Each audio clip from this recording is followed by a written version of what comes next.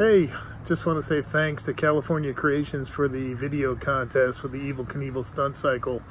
Uh, I turned my winnings into uh, three spare cycles and also this awesome uh, hoodie from the Evel Knievel Museum in Topeka, Kansas.